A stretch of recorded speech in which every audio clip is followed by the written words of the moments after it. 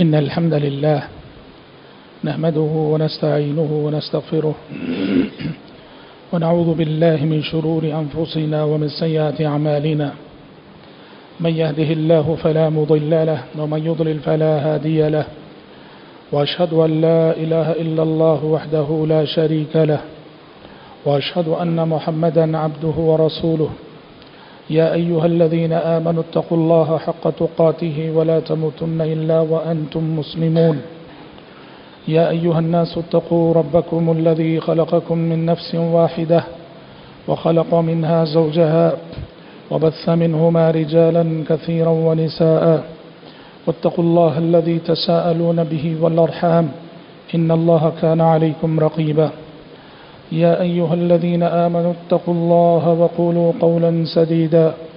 يصلح لكم أعمالكم ويغفر لكم ذنوبكم. ومن يطع الله ورسوله فقد فاز فوزا عظيما. أما بعد فإن خير الحديث كتاب الله وخير الهدي هدي محمد صلى الله عليه وسلم وشر الأمور محدثاتها وكل محدثة بدعة وكل بدعة ضلالة وكل ضلالة في النار. أعوذ بالله السميع العليم من الشيطان الرجيم من همزه ونفخه ونفسه. لقد كان لكم في رسول الله أسوة حسنة لمن كان يرجو الله واليوم الآخر وذكر الله كثيرا.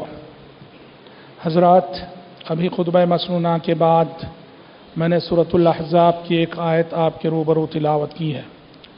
اللہ تبارک و تعالیٰ نے اس آیت میں اہل ایمان سے مخاطب ہو کے فرمایا کہ یقیناً تمہارے لیے اللہ کے رسول کی زندگی میں بہترین اسوا اور بہترین نمونہ ہے۔ ان لوگوں کے لیے جو اللہ اور یوم آخرت کے امیدوار ہوں اور اللہ تبارک و تعالیٰ کا زیادہ سے زیادہ ذکر کیا کرتے ہوں۔ حضرات پیارے نبی صلی اللہ علیہ وسلم کی زندگی ہمارے لیے، آپ کے لیے اور ساری انسانیت کے لیے رہتی دنیا تک سب سے بہترین اسوا اور سب سے بہترین نمونہ ہے۔ آپ صلی اللہ علیہ وسلم کی حیات طیبہ ہر شعبہ زندگی میں ہماری رہنمائی کرتی ہے۔ زندگی کے کسی بھی شعبے میں ہم یہ نہیں کہہ سکتے کہ زندگی کے فلاں شعبے میں سیرت رسول سے ہمیں روشنی نہیں ملتی، زندگی کے فلاں پہلو میں سیرت رسول سے ہمیں رہنمائی نہیں ملتی، کوئی کہہ نہیں سکتا ہے۔ اللہ رب العزت نے ایسی جامع سیرت، ایسی جامع زندگی اور ایسے جامع صفات اور ایسے جامع اخلاق آپ کے اندر رکھے کہ ہر شعبہ زندگی میں پیارے نبی صلی اللہ علیہ وسلم کی حیات طیبہ سے ہمیں روشنی اور رہنمائی ملتی ہے۔ قرآن مجید کی جو نظریاتی تعلیمات تھیں، پیارے نبی صلی اللہ علیہ وسلم نے قرآن مجید کی ان نظریاتی تعلیمات پر عمل کر دکھایا۔ اسی لیے ام المومنین عائشہ صدیقہ رضی اللہ عنہ نے آپ کی حیات طیبہ کو اور آپ کی زندگی کو قرآن سے تعبیر کرتے ہوئے فرمایا کہ نبی کی زندگی کیا تھی، نبی کی حیات کیا تھی، نبی کی سیرت کیا تھی، کہا کہ وہ تو قرآن تھی۔ کانا خلقہ القرآن۔ کہ آپ صلی اللہ علیہ وسلم کے اخلاق کیا تھے وہ سمجھنا ہو اور جاننا ہو تو بس قرآن کو دیکھ لو اور قرآن کو پڑھ لو۔ حضرات سیرت کے بہت سارے پہلو ہیں۔ میں آج کے خطبے میں سیرت رسول صلی اللہ علیہ وسلم کا ایک پہلو لے کر آپ کے سامنے حاضر ہوا ہوں۔ اور وہ پہلو یہ ہے کہ آپ صلی اللہ علیہ وسلم اپنی زندگی میں دوسروں کو کیسے ریسپانس دیا کرتے تھے؟ دوسروں کے ساتھ کیسے پیش آیا کرتے تھے؟ آپ کے پاس دوسروں کے جذبات کا کتنا لحاظ ہوتا تھا؟ جو کوئی بھی جو آپ کی خدمت میں حاضر ہوتا تھا، اسے کیسی عزت ملتی تھی؟ سامنے والے کسی بھی شخص کو جو آپ کے پاس کسی بھی ضرورت کی خاطر آتا، آپ صلی اللہ علیہ وسلم اسے کتنی اہمیت دیتے، کتنا ریسپانس دیتے، کیونکہ یہ ہمارے لیے اور آپ کے لیے زندگی کا بہت ہی اہم ترین پہلو ہے۔ ہماری اور آپ کی جو بہت ساری کمزوریاں ہیں، ان میں سے ایک بہت بڑی کمزوری یہ ہے کہ ہم اپنی نادانی کی وجہ سے یا پھر لا علمی کی وجہ سے، کم علمی کی وجہ سے جب دوسروں کے ساتھ معاملہ کرتے ہیں، گفتگو کرتے ہیں، لین دین کرتے ہیں، تعلقات قائم کرتے ہیں، تو ہم سے چوک ہوتی ہے، بھول ہوتی ہے، سامنے والے کو جتنی اہمیت دینی ہے، نہیں دیتے، سامنے والے کے ساتھ جیسے پیش آنا نہیں پیش آتے۔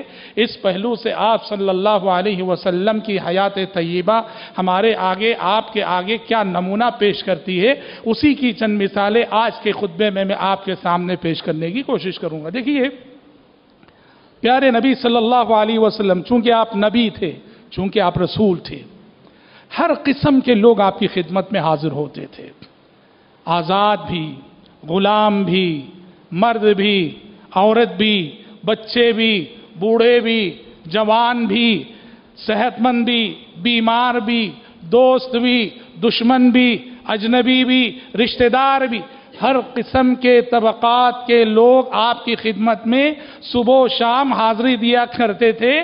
اور آپ دیکھیں گے کہ پیارے نبی صلی اللہ علیہ وسلم ہر ایک کے ساتھ آپ کتنا، کتنی عزت سے پیش آتے تھے اور کتنی اہمیت دیا کرتے تھے۔ ہمارا اور آپ کا معاملہ یہ ہے جو ہم مزاج لوگ ہوتے ہیں، میں انہی لوگوں کو اہمیت دیتا ہوں، میں انہی لوگوں سے اچھی گفتگو کرتا ہوں جو میرے ہم مزاج ہوتے ہیں۔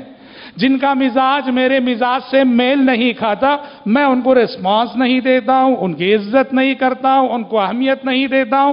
یہ میری اور آپ کی بہت بڑی کمزوری ہے۔ لیکن ایک نبی ہونے کی حیثیت سے، رسول ہونے کی حیثیت سے، پیارے نبی صلی اللہ علیہ وسلم کے اعلیٰ اخلاق، پیارے نبی صلی اللہ علیہ وسلم کا سلوک اور پیارے نبی کا رویہ بڑا عظیم تھا۔ انس بن مالک رضی اللہ عنہ کہتے ہیں، تین باتیں بتاتے ہیں حضرت انس۔ کہتے ہیں کہ جب بھی پیارے نبی کی خدمت میں کوئی شخص کوئی معاملہ لے کے حاضر ہوتا، جب تک وہ خود لوٹ نہیں جاتا، آپ صلی اللہ علیہ وسلم لوٹتے نہ تھے۔ پہلے وہ واپس جانے کی بات کرتا، واپس جانے کے لیے پہلے اس کا قدم اٹھتا، پھر پیارے نبی کا قدم اٹھتا۔ ایسا نہیں کہ ایک ضرورت مند آیا ہے، پہلے آپ کا قدم اٹھ گیا اور بعد میں وہ ضرورت مند کا قدم اٹھے، نہیں۔ پہلے وہ جو آیا ہے، پہلے واپسی کے لیے اس کا قدم اٹھتا اور اس کے بعد پیارے نبی کا قدم اٹھتا۔ دوسری بات کہتے ہیں، جب بھی آپ کسی سے مسافہ کرتے، جب بھی آپ کسی سے مسافہ کرتے، سامنے والا جب تک ہاتھ خود نہ چھوڑ دے، آپ ہاتھ نہیں چھوڑتے تھے۔ دیکھو، وہاں چھوٹی سی بات ہے، مگر دل کے اندر پائی جانے والی محبت کو بتاتی ہے، اپنائیت کو بتاتی ہے۔ جب مسافہ کرتے تو جب تک سامنے والا ہاتھ نہ چھوڑ دے آپ اس کا ہاتھ نہیں چھوڑا کہ پہلے وہ چھوڑے اور پھر آپ صلی اللہ علیہ وسلم اپنا ہاتھ چھوڑا کرتے تھے۔ پھر تیسری بات حضرت انس بتا دیں رضی اللہ عنہ کہ جب بھی کوئی شخص آپ سے گفتگو کرتا، ہم کلام ہوتا، آپ اپنے کان کو اس کی جانب جھکا دیتے اسے احساس دلاتے کہ میں پوری توجہ سے تمہاری بات سن رہا ہوں۔ اور جب تک وہ خود بات بتا کے ہٹ نہیں جاتا، پیارے نبی صلی اللہ علیہ وسلم کا کان ویسے ہی اس کے سم جھکا کا جھکا رہتا یہ تین باتیں، یہ تین عظیم صفات جو آپ صلی اللہ علیہ وسلم کا عام کردار تھا، جسے خادم رسول حضرت انس رضی اللہ عنہ نے زندگی بھر نوٹ کیا اور زندگی بھر نوٹ کرنے کے بعد ایک تاثر کے طور پہ بیان کر رہے ہیں۔ حضرت جریر رضی اللہ عنہ فرماتے ہیں ما حجبني النبي صلى الله عليه وسلم منذ أسلمت ولا رآني إلا تبسم في وجهي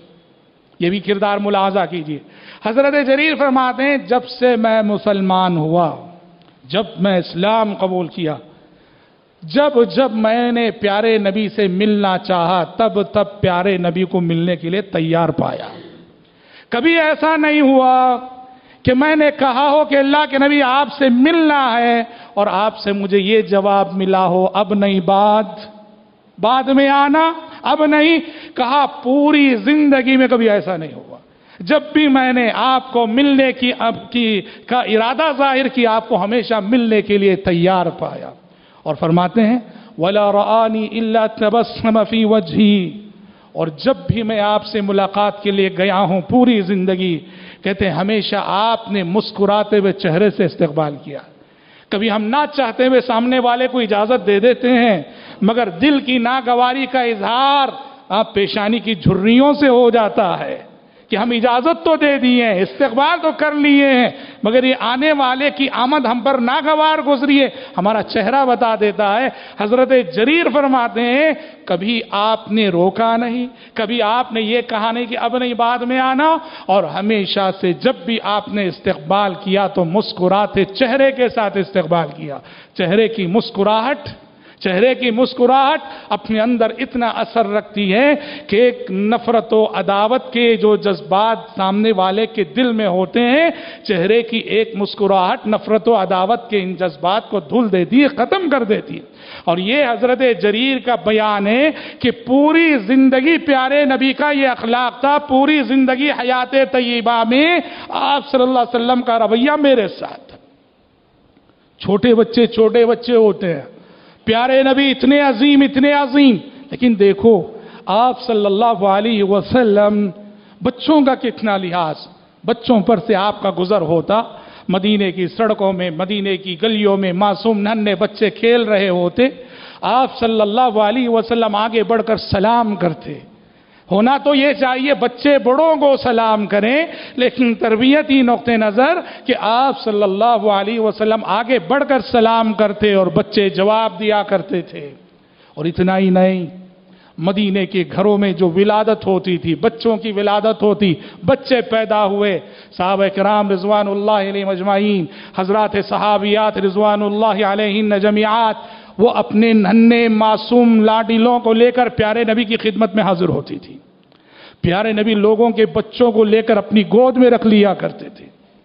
ہاں ہم کبھی بڑے ہوتے ہیں تو اتنے بڑے ہو جاتے ہیں، شاید کبھی اپنے بچے کو گود میں رکھنے کی بعض لوگوں کو زندگی میں توفیق نہیں ہوئی ہوگی۔ اپنے بچے کو اٹھایا نہیں ہوگا۔ پیارے نبی لوگوں کے بچوں کو گود میں رکھ لیتے تھے۔ اور بسا اوقات یہ ہوتا بچے بچے ہیں، پیارے نبی کی گود میں ہیں اور پیارے نبی کی گود میں بچے نے پیشاب کر ڈالا۔ کئی بار ہوا کہ بچے نے آپ کی گود میں پیشاب کر دیا۔ کوئی غصہ نہیں، کوئی بیزارگی نہیں، کوئی ناگواری نہیں، بس اتنا کیا کہ پانی منگوایا اور چھڑک لیا۔ لیکن کبھی یہ نہیں کہا کہ آئندہ سے اپنے بچے میرے حوالے نہیں کرنا، میری گود میں نہیں رکھنا۔ آپ کا یہ سلوک بچوں کے ساتھ ہمیشہ سے جاری رہا۔ جذبات کا بڑا لحاظ تھا آپ کے پاس۔ سامنے والے کے جو جذبات ہوتے ہیں، جذبات کا بڑا لحاظ رکھتے تھے آپ صلی اللہ علیہ وسلم۔ دیکھو، ام المومنین عائشہ صدیقہ رضی اللہ عنہ کم عمری اور کم سنی میں آپ سے بیاہی گئیں۔ اب کم عمری کی وجہ سے بچیوں میں کھیلنے کا شوق ہوتا ہے۔ ام المومنین عائشہ صدیقہ رضی اللہ عنہ پیارے نبی کے گھر میں آپ کی زوجیت میں آنے کے بعد اپنی سہلیوں کو لے کر گڑیا لے کے کھیلا کرتی تھیں۔ اور جیسے پیارے نبی گھر میں داخل ہوتے، ام المومنین عائشہ صدیقہ رضی اللہ عنہ کی سہلیاں ڈر کر چھپ جایا کرتی تھی گھر کے کونوں میں۔ آپ صلی اللہ علیہ وسلم حضرت عائشہ کی سہلیوں سے کہتے، جاؤ عائشہ کے ساتھ کھیلو۔ جاؤ عائشہ کے ساتھ کھیلو۔ کتنا لحاظ ام المومنین کی کم سینی کا اور ان کے جذبات کا۔ اور ایک اور واقعہ بیان کرتے ہوئے ام المومنین بتاتی ہیں، عید کا دن ہوتا، حبشی لوگ بہادری کے کرتب دکھا رہے ہوتے اور مجھے اس کھیل کو دیکھنے کی خواہش ہوتی۔ پیارے نبی صلی اللہ علیہ وسلم مجھے لے جاتے، میں آپ کے کاندھے کی اوٹ سے کھڑے ہو کر سارا کھیل دیکھا کرتی۔ اور میرے جذبات کا اتنا لحاظ اتنا لحاظ ام المومنین فرماتی ہیں، جب تک کھیل دیکھتے دیکھتے میں کو تھک نہ جاتی اور میں کو چلنے کے لیے نہ کہتی، تب تک پیارے نبی چلنے کی بات نہ کرتے۔ اس حدیث کو اور اس واقعے کو بیان کر کے ام المومنین اپنے زمانے کے شوہروں سے مخاطب ہو کے فرمایا کرتی تھی فخدروا قدر الجاریت الحدیثت السن الحریصت علی اللہ، کہا کہ اے شوہروں دیکھو یہ اللہ کے نبی ہیں۔ اللہ کے نبی میری خواہشات کا، میرے جذبات کا اتنا لحاظ رکھا کرتے تھے۔ لہٰذا تم بھی، تمہاری وہ بیویاں جو کم عمر ہوتی ہیں، ان کی کچھ جائز تمنائیں ہیں، جائز آرزویں ہیں، جائز خواہشات ہیں، زندگی زندگی میں ہمیشہ اپنی بیویوں کی جائز تمناؤں کا لحاظ رکھا کرو کہ پیارے نبی میری جائز تمناؤں کا اتنا لحاظ رکھا کرتے تھے۔ رشتہ داری بہت عظیم چیز ہے۔ رشتہ داری بہت بڑی دولت ہے۔ پیارے نبی صلی اللہ علیہ وسلم رشتہ داری کو بڑی اہمیت دیا کرتے تھے۔ رشتوں کی آپ کے نزدیک بڑی اہمیت تھی۔ کوئی بھی رشتہ دار آتا، پیارے نبی اس کے ساتھ بڑی اپنائیت کا اور سلا رحمی کا ثبوت دیا کرتے تھے۔ خیبر فتح ہوا ہے سن چھ ہجری میں۔ اتنی بڑی خوشخبری، خیبر فتح ہوا۔ اور اسی دن یہ ہوا کہ حضرت جعفر رضی اللہ عنہ جو آپ کے چچا زاد بھائی تھے مدینہ آئے۔ حضرت جعفر مکی زندگی میں مکہ سے ہجرت کر کے حبشہ چلے گئے تھے۔ وہ حبشہ میں رہتے تھے۔ کتنے سال کی جدائی آپ کے سگے چچا زاد بھائی۔ تقریباً سمجھیے دس سال سے زائد کی جدائی۔ دس سال سے زائد کی جدائی کے بعد سن چھ ہجری میں حبشہ سے واپس حضرت جعفر بن ابی طالب مدینہ آئے اور اس دن وہ مدینہ پہنچے جس دن کے خیبر فتح ہوا تھا۔ اپنی چچازاد بھائی کی آمد پر پیارے نبی کو اتنی خوشی ہوئی، اتنی خوشی ہوئی۔ حضرت جعفر سے مل کر معانقہ کر کے پیارے نبی نے کہا کہ میں یہ فیصلہ نہیں کر پا رہا ہوں، آج خیبر کی فتح سے مجھے زیادہ خوشی ہو رہی ہے یا میرے بھائی جعفر کی آمد سے زیادہ خوشی ہو رہی ہے۔ کتنی بڑی بات ہے۔ اپنا رشتہ دار آ گیا، اپنا بھائی آ گیا جو دس سال سے جدا تھا، دس سال سے دور تھا۔ حنین کے موقع پر آپ کی رضائی بہن آ گئی کون ہے؟ شیما وہ آئی آ کے کہا کہ اللہ کے رسول، آپ مجھے پہچانتے نہیں، میں آپ کی رضائی بہن ہوں۔ حلیمہ سعدیہ کے گھر آپ کی رضاعت ہوئی تھی، تو وہیں شیما کی بھی رضاعت ہوئی تھی، آپ کی رضائی بہن تھی۔ پیارے نبی نے جیسے ہی اپنی رضائی بہن کو اپنے سامنے پایا، فوراً اٹھے اور اپنی چادر مبارک کو بچھا دیا۔ چادر مبارک کو بچھا دیا اور بچھا کے کہا کہ میری بہن بیٹھ جاؤ۔ عزت و اکرام کے ساتھ، عزت و احترام کے ساتھ اپنی رضائی بہن کو بٹھایا۔ آپ صلی اللہ علیہ وسلم نے محبت کی گفتگو ان کی ان کے ساتھ اور اس کے بعد آپ صلی اللہ علیہ وسلم نے انہیں ہدیہ دے کر، جو غلام کی شکل میں تھا، ہدیہ دے کر آپ صلی اللہ علیہ وسلم نے انہیں واپس کیا۔ رشتہ داری بہت بڑی چیز اور رشتہ داری کا پاس و لحاظ بہت رکھا کرتے تھے آپ صلی اللہ علیہ وسلم۔ آپ زندگی میں خود بھی دوسروں کو اہمیت دیتے تھے اور دوسروں کو بھی دوسروں کی اہمیت کا احساس دلاتے تھے۔ ایک تو خود اہمیت دینا اور دوسروں کو بھی اہمیت کا احساس دلانا۔ عہد مدنی میں ایک واقعہ یہ ہوا۔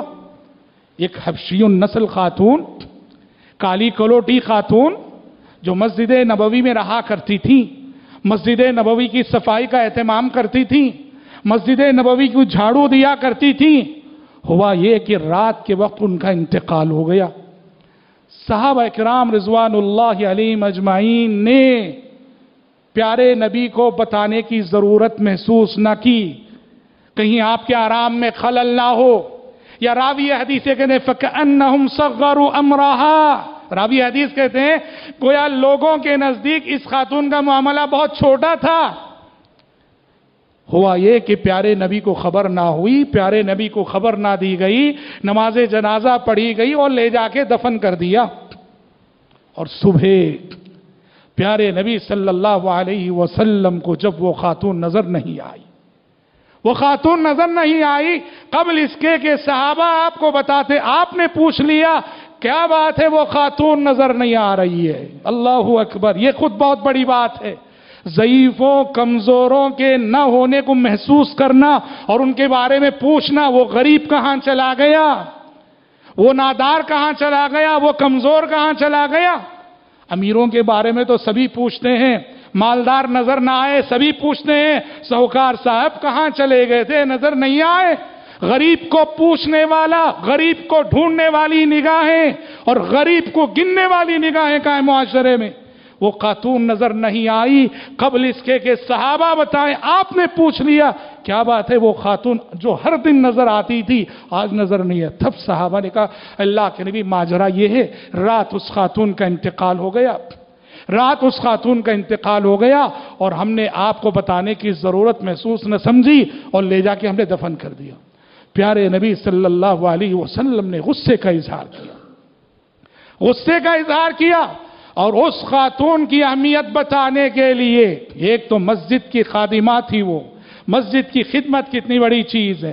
اور دوسری بات یہ ہے کہ لوگوں کا مقام، مرتبہ، ان کے مال، دولت، رنگ وغیرہ کو دیکھ کر نہیں، وہ حفشی النسل خاتون تھی، کالی کلوٹی خاتون تھی۔ آپ صحابہ کو لے کر قبرستان گئے۔ بقی قبرستان گئے، اس خاتون کی قبر پہ کھڑے ہو کے آپ نے باقاعدہ نماز جنازہ ادا کی پھر سے۔ اس لیے اہل علم کہتے ہیں کہ جن لوگوں کی نماز جنازہ چھوٹ جاتی ہے، نماز جنازہ مس ہو جاتی ہے، انہیں اس بات کی اجازت ہے کہ تدفین ہو جانے کے بعد بھی ایک مہینے تک، تدفین کے بعد سے ایک مہینے تک وہ قبر پہ جا کے نماز جنازہ پڑھ سکتے ہیں۔ اور ضمن جو لوگ پڑھ چکے ہیں کیا وہ بھی پڑھ سکتے ہیں، کیا وہ بھی پڑھ سکتے ہیں؟ اس لیے کہ پیارے نبی جب بقی قبرستان گئے اور اس خاتون صحابیہ کی نماز جنازہ آپ نے پڑھی، پڑھائی، تو آپ کے پیچھے صحابہ نے سب باندھی، جبکہ صحابہ نماز پڑھ چکے تھے۔ تو آپ دیکھو، خود اہمیت دیتے تھے لوگوں کو اور دوسروں کو اس اہمیت کا احساس دلایا کرتے تھے کہ کسی کو اس کی رنگ کی وجہ سے حقیر نہ سمجھو، اس کی غربت کی وجہ سے حقیر نہ سمجھو۔ آپ کے پاس ہر ایک کو ریسپانس ملا کرتا تھا۔ ہر ایک کو ریسپانس ملا کرتا تھا۔ کوئی بھی آئے۔ دیکھو، اس دور میں، اس زمانے میں، معاشرے میں سب سے کم حیثیت والا طبقہ اگر کوئی تھا سب سے کمزور طبقہ اگر کوئی تھا، سب سے نادار طبقہ اگر کوئی تھا، تو وہ غلاموں اور لونڈیوں کا۔ غلامی اس دور میں تھی، ہر قوم میں تھی، ہر ملک میں تھی، تو عرب میں بھی پائی جاتی تھی۔ اور مارکیٹ لگتے تھے باقاعدہ، مارکیٹ میں یہ غلام خریدے اور بیچے جاتے تھے۔ سب سے کمزور طبقہ ان غلاموں اور لونڈیوں کا تھا۔ لیکن دیکھو کہ یہ غلام لونڈی، یہ لوگ بھی جب پیارے نبی کی خدمت میں حاضری دیا کرتے تھے، پیارے نبی انہیں کتنا ریسپانس دیا کرتے تھے۔ بخاری کی حدیث ہے، حضرت انس راوی ہیں۔ فرماتے ہیں كانت الامت من امائی اہل المدینہ، لتأخذ بید رسول اللہ صلی اللہ علیہ وسلم، فتنطلق به حيث شاءت۔ حضرت انس فرماتے ہیں بسا اوقات ایسا ہوتا کہ پیارے نبی صلی اللہ علیہ وسلم مدینے کی کسی گلی سے گزر رہے ہوتے۔ اچانک کوئی لونڈی آتی جسے آپ سے کوئی شکایت کرنی ہوتی، جس پر ظلم ہوا ہوتا، جو آپ کے سامنے اپنا کوئی مسئلہ رکھنا چاہتی، وہ لونڈی سیدھے آپ کا آستین پکڑتی، کہتی ہے اللہ کے نبی ادھر آئیے۔ آستین پکڑ کے کہتی کہ ادھر آئیے۔ اور پیارے نبی صلی اللہ علیہ وسلم وہ جدھر بلاتے اس کے ساتھ ہو لیتے، اس کے ساتھ چلتے، اس کی بات سنتے، اس کی شکایت دور کرتے اور اس کے بعد آپ صلی اللہ علیہ وسلم پھر اپنی منزل کی جانب روان دوا ہوتے۔ تاریخ میں کیا ہے، جو بڑے لوگ ہوتے ہیں وہ اتنے بڑے ہو جاتے ہیں کہ چھوٹے انہیں دکھتے ہی نہیں۔ چھوٹے انہیں دکھتے ہی نہیں، چھوٹے انہیں نظر نہیں آتے۔ پیارے نبی نے دنیا والوں کو بڑائی کا یہ معیار بتایا کہ صحیح معنوں میں بڑا وہ ہے جو معاشرے کے چھوٹے لوگوں کا خیال رکھتا ہو، جو معاشرے کے چھوٹے لوگوں کی ضرورتوں کا لحاظ رکھتا ہو، معاشرے کے غریبوں اور ناداروں کو اہمیت دیتا ہو۔ معاشرے میں کچھ لوگ ہوتے ہیں جو بڑے بے وزن ہوتے ہیں۔ معاشرے والوں کے نزدیک ان کی اہمیت نہیں، کیوں؟ اس لیے کہ وہ دیہاتی ہے بے وزن ہے اس لیے کہ وہ غریب ہے۔ بے وزن ہے اس لیے کہ وہ بد شکل ہے۔ پیارے نبی صلی اللہ علیہ وسلم، ان تمام قسم کے افراد کو کتنی اہمیت دیا کرتے تھے۔ ابن ماجہ کی ایک روایت آتی ہے، سنن ابن ماجہ کی، اور حسن درجے کی حدیث ہے، مدینے کے قریب ایک دیہات تھا۔ اس دیہات کے رہنے والے ایک صحابی تھے، جن کا نام تھا حضرت ظاہر ظاہر رضی اللہ عنہ۔ کیا ہے ان کا معاملہ؟ ایک تو دیہاتی دوسرے بہت ہی غریب اور تیسرے بڑے بد شکل شکلیں اللہ بناتا ہے۔ کسی کو خوبصورت بنایا، کسی کو بد شکل بنایا، یہ سب اگزام ہے، امتحان ہے یہ سب۔ تو جی خوبصورتی پہ مغرور نہیں ہونا چاہیے بد شکل ہے تو مایوس نہیں ہونا چاہیے، زندگی امتحان ہے۔ نادار، دیہاتی، غریب اور بد شکل اور ایسے لوگوں کو کون اہمیت دیتا؟ دیکھو پیارے نبی صلی اللہ علیہ وسلم ان صحابی کو بہت چاہتے تھے۔ اور یہ صحابی بھی پیارے نبی سے اتنی ہی محبت کرتے تھے۔ اپنے دیہات سے مدینہ آتے، حضرت ظاہر رضی اللہ عنہ۔ تو پیارے نبی کے لیے دیہات میں جو چیزیں ہوتی ہیں، ترکاری، بھاجی ووجی اس طرح کی چیزیں ہدیے میں لا کے پیارے نبی کو دیا کرتے تھے۔ اور جب تک وہ مدینے میں ہوتے، پیارے نبی ان کی مہمان نوازی کر دے اور جب وہ مدینے سے واپس اپنے گاؤں جاتے، پیارے نبی بھی انہیں دے کر، نواز کر، توشہ دے کے بھیجا کرتے تھے۔ ایک مرتبہ ایسا ہوا۔ حضرت ظاہر رضی اللہ عنہ مدینے کی مارکیٹ میں کھڑے ہو کے بزنس کر رہے تھے۔ کوئی چیز سیل کر رہے تھے وہ، کوئی چیز بیچ رہے تھے وہ، حضرت ظاہر رضی اللہ عنہ۔ پیارے نبی نے دور سے دیکھا کہ ظاہر ہے آپ پیچھے سے گئے۔ کہ انہیں محسوس بھی نہ ہو۔ آپ صلی اللہ علیہ وسلم پیچھے سے گئے اور جا کر آپ نے ان کی آنکھیں بند کر لی جیسے آنکھ مچولی بچے کھیلا کرتے ہیں۔ پیچھے سے گئے اور حضرت ظاہر کی آنکھیں آپ نے بند کر لی حضرت ظاہر نے پہلے تو کہا، کون ہے بھائی؟ کون ہے بھائی؟ لیکن انہیں بہت جلد یقین ہو گیا کہ اس قدر اپنانے والی شخصیت اور اس قدر اپنائیت اور محبت کا ثبوت دینے والی شخصیت یہ نبی کے علاوہ کوئی کوئی اور نہیں ہو سکتے۔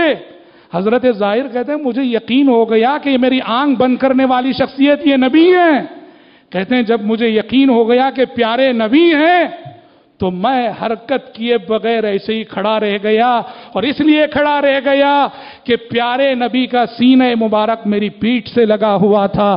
میں چاہ رہا تھا کہ نبی سے قربت کی یہ ساتیں طویل سے طویل تر اور دراز سے دراز تر ہو جائیں۔ پیارے نبی کو بھی معلوم ہو گیا کہ محسوس کر لی ہے کہ میں ہی ہوں۔ پیارے نبی کو بھی اندازہ ہو گیا کہ ظاہر نے محسوس کر لیا ہے کہ میں ہی ہوں۔ تو پیارے نبی نے ہاتھ چھوڑا چھوڑ کے مارکیٹ والوں سے مخاطب ہوئے اور مارکیٹ والوں سے کہا لوگوں اس بندے کو مجھ سے کون خریدے گا؟ وہ آئے ہیں بزنس کرنے کے لیے۔ پیارے نبی نے خود ان کو بزنس کا سامان بنا ڈالا۔ ازراہ مذاق، آپ نے مارکیٹ والوں سے پوچھا لوگوں اس بندے کو مجھ سے کون خریدے گا؟ حضرت ظاہر نے کہا اللہ کے نبی، مجھے بیچ کر آپ کو کوئی فائدہ نہیں ملے گا، اس لیے کہ لوگوں کے نزدیک میری کوئی قیمت نہیں ہے۔ پیارے نبی نے کہا، اللہ کے بندے، لوگوں کے نزدیک تیری قیمت ہو نہ ہو، اللہ کے نزدیک تو بڑا قیمتی ہے۔ اللہ کے نزدیک تو بڑا قیمتی ہے۔ رب العزت کے پاس لوگوں کی درجہ بندی دل کے تقوی کی بنیاد پر ہوتی ہے۔ وہ غربت، وہ شکل، وہ صورت، وہ لباس، وہ کپڑے، وہ خاندان، وہ رنگ ڈھنگ کچھ نہیں۔ ان اکرمکم عند اللہ یتقاکم۔ کہا، دنیا والوں کے نزدیک تمہاری قیمت ہو نہ ہو، اللہ کے نزدیک تم بڑے قیمتی ہو۔ حضرات، یہ پیارے نبی کی عظیم اخلاق ہیں۔ اور دیکھو، یہ اخلاق ایسا نہیں کہ صرف مسلمانوں کے ساتھ آپ سیرت پڑھے جاؤ، حدیث کی کتابیں پڑھے جاؤ۔ معاشرے کے غیر مسلموں کو بھی یہی رسپانس آپ دیا کرتے تھے۔ معاشرے کے غیر مسلمین کو بھی یہی عزت آپ کے دربار میں ملا کرتی تھی۔ ارے، اور تو اور، دشمن کی عزت کرنے کا سلیقہ نبی نے ہمیں سکھایا ہے۔ آپ سیرت کی کتابیں پڑھیے۔ غیر مسلم، وہ کوئی بھی کیوں نہ ہو، یہودی کیوں نہ ہو، جو آپ سے قریب ہونا چاہتا، آپ اسے دور نہیں کرتے تھے۔ جو آپ سے قریب ہونا چاہتا، اسے آپ دور نہیں کرتے تھے۔ آپ بچاؤ آپ بچاؤ پیارے نبی کی خدمت کی اگر بات آئے کہ نبی کی خدمت کرنا ہے، مدینے کے معاشرے میں نبی کے خادموں میں کی کوئی کمی تھی؟ مدینے کا ہر صحابی نبی کا خادم، مدینے کی ہر صحابیہ نبی کی خادمہ۔ صحابہ آپ کی خدمت کے لیے صبح شام تیار تھے۔ اور اس کے باوجود بخاری کی حدیث ہے کہ کان غلام یہودی یخدم النبی صلی اللہ علیہ وسلم، کہ ایک یہودی لڑکا تھا، ایک یہودی نوجوان تھا جو ہمیشہ نبی کی خدمت کیا کرتا تھا، نبی کی خدمت میں رہا کرتا تھا۔ اللہ اکبر۔ یہودی یہودی نوجوان اور آپ صلی اللہ علیہ وسلم کے خادموں کی فہرست جب تیار ہوتی ہے مسلمان صحابہ کے ساتھ، آپ کے خادموں کی فہرست میں اس یہودی نوجوان کا بھی تذکرہ آتا ہے۔ کیا مطلب؟ اس سے کیا سبق ملتا ہے؟ اس سے سبق ملتا ہے کہ پیارے نبی کی اخلاق تھے۔ غیر مسلم جو جو سلوک، جو اخلاق آپ مسلمانوں کے ساتھ پیش آیا کرتے تھے، انہی اخلاق کا ثبوت آپ غیر مسلمین کے ساتھ بھی دیا کرتے تھے۔ دیکھو، قوموں کے قوموں سے جو تعلقات ہوتے ہیں، ایک قوم کا تعلق دوسری قوم سے، ایک ملک کا دوسرے ملک سے، اس کے کچھ دستور ہوتے ہیں، اس کے کچھ قانون ہوتے ہیں۔ پیارے نبی صلی اللہ علیہ وسلم اپنے زمانے میں جو غیر مسلم اقوام تھے، ان سے تعلقات قائم رکھتے ہوئے دستور جس جس پر کے معاشرہ چل رہا ہے، اس دستور کا کتنا لحاظ رکھتے تھے۔ ابو داؤد کی حدیث دیکھو، ابو راف ہے یہ کون تھے یہ؟ قریش مکہ کی جانب سے سفیر بن کر پیارے نبی کی خدمت میں آئے۔ مکے کے غیر مسلموں نے، مکے کے قریش نے اپنا سفیر بنا کر ابو رافع کو پیارے نبی کی خدمت میں بھیجا۔ ابو رافع مدینہ آئے پیارے نبی کی خدمت میں۔ جو جس معاملے کو، جس میٹر کو لے کر آئے وہ میٹر حل کر لیا۔ مدینہ آئے پیارے نبی سے ملاقات ہوئی، پیارے نبی سے گفتگو ہوئی، صحابہ کا ماحول دیکھا، اتنا متاثر ہوئے۔ انہوں نے پیارے نبی سے کہا، اللہ کے نبی، میں اسلام قبول کر رہا ہوں میں۔ مسلمان ہو گئے۔ اور مسلمان ہونے کے بعد بولے، اب میں واپس مکہ نہیں جانے والا۔ مکہ واپس نہیں جاؤں گا۔ پیارے نبی نے کیا کہا جانتے ہیں؟ کہ ابو رافع، تم آئے ہو سفیر کی حیثیت سے۔ مکے والوں نے تمہیں سفیر بنا کے بھیجا ہے۔ اور اس دور کے دستور اور قانون کے حساب سے کسی بھی قوم کے سفیر کو روکنا دوسری قوم کے لیے درست نہ تھا۔ آپ نے ابو رافع سے کہا، تم مدینے میں اب رک نہیں سکتے، تم سفیر کی حیثیت سے واپس جاؤ، واپس مکہ جاؤ۔ واپس مکہ جانے کے بعد سفیر کی حیثیت تمہاری ختم ہو جائے گی، پھر واپس آنا ہمارے پاس۔ آپ نے ابو رافع کو واپس بھیجا اس دور اس زمانے کے دستور کا لحاظ رکھ کر، جس دستور اور قانون کی بنیاد پر تعلقات کو مستحکم اور استوار کیا جاتا تھا، واپس جانا پڑا ابو رافع کو۔ اور سفیر کی حیثیت ان کی ختم ہوئی، اس کے بعد پھر پھر دوبارہ لوٹ کر مدینہ آئے۔ یہ سب کتنی عظیم مثال ہے۔ میں نے کہا، دشمن کی عزت کرنے کا سلیقہ آپ نے سکھایا۔ اور تو اور، اپنے تو اپنے رشتہ دار تو رشتہ دار آپ نے کہا، دشمن کی بھی عزت کرو، دشمن بھی عزت کا حق رکھتا ہے۔ اور یہ سبق کہاں دیا آپ نے، جانتے ہیں؟ فتح مکہ۔ مکہ فتح ہو چکا ہے۔ مکہ فتح ہو چکا ہے پوری طرح سے۔ پیارے نبی صلی اللہ علیہ وسلم امن عام کا اعلان کر رہے ہیں کہ لوگوں آج آج سب کے لیے امن ہے۔ کس کس کے لیے امن ہے؟ آپ نے کہا جو اپنے گھر کا دروازہ بند کر لے، اس کے لیے امن ہے۔ پھر آپ نے کہا جو خانہ کعبہ میں داخل ہو جائے، اس کے لیے امن ہے۔ اور تیسرے نمبر پہ آپ نے کہا، وَمَن دَخَلَ دَارَ أَبِي سُفْيَانَ فَهُوَ آمِن۔ لوگوں سن لو، تم میں سے جو ابو سفیان کے گھر میں داخل ہو جائے، اسے بھی امن ہے۔ ابو سفیان کون؟ اس وقت پیارے نبی کے سب سے بڑے دشمن۔ اس وقت ابھی اسلام نہیں لائے تھے وہ۔ پیارے نبی کے سب سے بڑے دشمن مکے کے رواسا شرفا سرداروں میں پیارے نبی سے سب سے زیادہ دشمنی رکھنے والے ابو سفیان۔ اور آپ نے اپنے سب سے بڑے جانی دشمن کو یہ عزت دی اور کہا، ایک طرف کہا کہ جو کانا کعبہ میں داخل ہو جائے، اسے امن ہے۔ تو وہیں اپنے دشمن کو عزت دیتے ہوئے کہا، جو ابو سفیان کے گھر میں چلا جائے، داخل ہو جائے، اسے بھی امن ہے۔ اللہ اکبر۔ ان اخلاق سے وہ اتنا متاثر ہوئے کہ وہ انہی دنوں مشرف اسلام بھی ہو گیا آگے چل کر۔ حضرات، کہنا یہ ہے، ہم ربی الاول کے مہینے سے گزر رہے ہیں۔ ربی الاول کا مہینہ جب آتا ہے، ہم مسلمان کرنے کے کام نہیں کرتے ہیں۔ بدعات، خرافات، من گھڑت واقعات، ایسے جلوس جس سے ٹرافک جام ہو، جس سے لوگوں کو تکلیف ہو بدعات اور خرافات کا ایک لامتناہی سلسلہ ماہ ربی الاول میں نظر آتا ہے۔ ہماری اصل ذمہ داری کیا ہے؟ ہماری اصل ذمہ داری یہ ہے کہ پیارے نبی کی حیات طیبہ کے ان گوشوں کو دنیا والوں کے سامنے پیش کریں۔ پیارے نبی کی حیات طیبہ کی ان پہلوؤں کو دنیا والوں کے سامنے پیش کریں۔ پیارے نبی کی زندگی کو لے کر آپ کی حیات طیبہ کو لے کر آج بہت ساری غلط فہمیاں پھیلائی گئی ہیں اور پھیلائی جا رہی ہیں۔ ہمیں بتانا ہے کہ نبی کیا تھے اور نبی کیسے تھے۔ پتھر مجھے جانا ہے میرا چاہنے والا۔ پتھر مجھے کہتا ہے میرا چاہنے والا۔ میں موم ہوں، اس نے مجھے چھو کر نہیں دیکھا۔ پیارے نبی کی حیات طیبہ کا صحیح نقشہ، صحیح منظر اور اس کی صحیح تصویر دنیا والوں کے سامنے پیش کرنے کی ضرورت ہے۔ اور اس کا سب سے بہترین ذریعہ یہ ہے کہ ہم خود اپنے اخلاق میں، اپنے کردار میں، اپنے شب و روز میں پیارے نبی کے اخلاق کا عکس بن جائیں۔ آپ کی حیات طیبہ کو نمونہ بنا کر آپ صلی اللہ علیہ وسلم کے اخلاق و کردار کے سانچے میں اپنے اخلاق و کردار کو ڈھالنے کی کوشش کریں۔